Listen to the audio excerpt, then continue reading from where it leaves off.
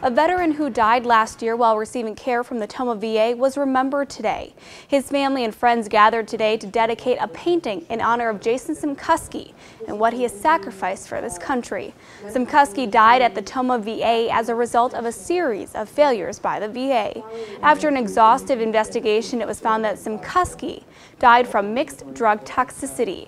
As a result, the Tomah VA has undergone many changes from policies to management. Although it has been a tough year, Jason's father is proud of his son and the impact his death has had on so many. We get calls from people all over the U.S.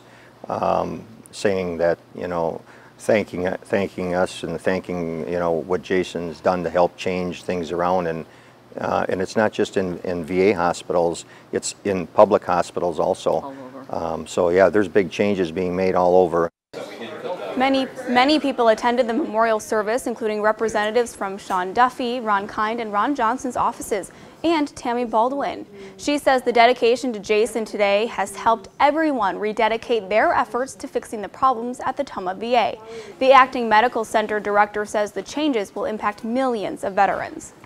It's been such a remarkable honor to work with Jason's family on um, legislation that is very bipartisan in nature to uh, make sure that no other family has to face the tragedy that they faced. The VA is a very large organization, so a change that's made at one of the facilities will impact veterans across the country. The painting dedicated to Jason is hanging in the hallway of the patient dining facility at the Tomah VA.